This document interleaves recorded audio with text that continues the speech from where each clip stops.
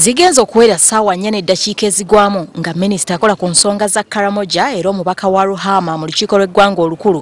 Amaze okweyanjula mu kakiiko akanoonyereza ku ngeri ensimbi z'abannayuganda gye zaasaasaanyizibwamu. Olutuuse nakkalira mu katebe kaabo be bakunya era n'alindirira okumutandikako.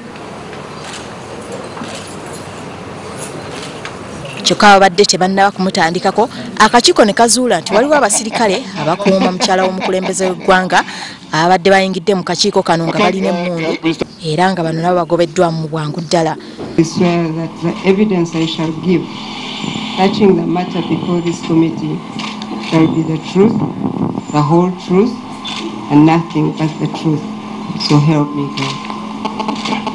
ekiddiridde kwe kutandika okumusoyasoya akajojijoji w'ebibuuzo ku bigambibwa nti yadiibudde ensimbi z'eggwanga ng'agenda mu ggwanga erya isirayiri emirundi munaana mu bbanga lya mwezi gumu nga yalemwa n'okuwabula ng'ensimbi z'eggwanga zibbibwa.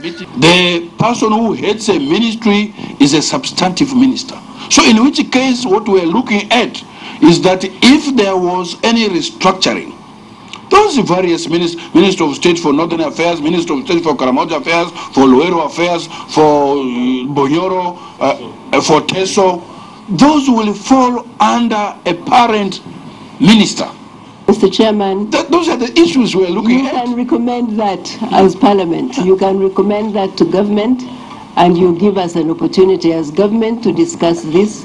But as of now, I can only speak about the Ministry of Karamoja in the office of the Prime Minister. ensonga endala ababaka gye babadde baagala nnyonnyole z'ensimbi ze yakozesanga ng'agenda e karamoja kyokka n'agamba nti zaavanga mu maka g'obwa pulezidenti I found it very unfortunate that uh, we, we choose to not address the message, but actually deal with the messenger. Because I was basically reiterating what was mentioned in the Auditor General's report. I think the accounting officer is the right person to answer that question, but I want you to know that my office does not know anything about that imprest. oluvannyuma lw'essaawa eziwera ng'ababaka bamukunya afulumya akakiiko olw'ababaka n'abaleka nga beegeyaamu okulaba ekigenda okuddirira